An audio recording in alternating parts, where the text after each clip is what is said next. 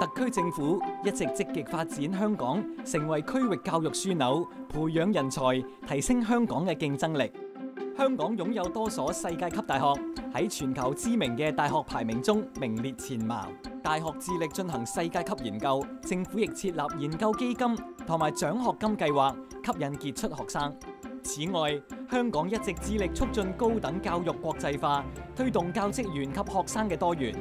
Hong Kong inspires me with the vibrant platform and exchange of ideas between the bright mind. Not only do I get to know the people and culture here, I now connect home with Hong Kong, the region, and the world. Hong Kong is definitely one of the best destinations for international students.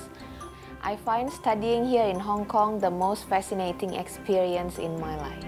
政府推出一系列支持国际化嘅措施，其中设立专上学生境外交流资助计划 及「一帶一路」交流資助計劃，資助本地學生到境外交流。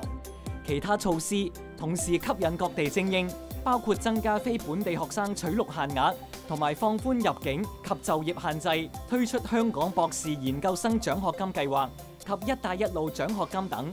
透過增設「一帶一路」獎學金，香港將加強與「一帶一路」完善國家嘅教育聯繫和交流，鞏固作為教育枢纽嘅地位。讓香港嘅大學更加國際化，一直係我哋嘅目標。我哋期望可以有更多嚟自世界各地，包括「一帶一路」地區嘅學生嚟香港升學。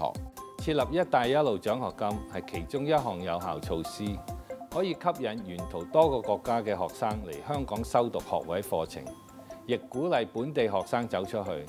令佢哋更加具備國際競爭能力。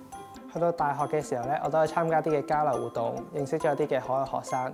咁我覺得呢啲經驗對我哋學業同埋做嘢方面都會好有幫助。我哋去咗以色列，喺短短嘅時間內，我哋對當地嘅經濟、文化、科技等都有好深入嘅認識。喺一帶一路裏邊咧，其實講緊六十幾個國家嘅，我覺得最值得注意嘅咧就係啲中亞地區啦。除咗佢經濟提升咧，亦都俾香港咧，我哋啲商家一個好好進駐呢個市場嘅機會。一帶一路倡議賦予香港新嘅角色同使命，為年青人構建一個融合多元文化嘅學習環境，同时亦可以为香港带嚟新嘅机遇。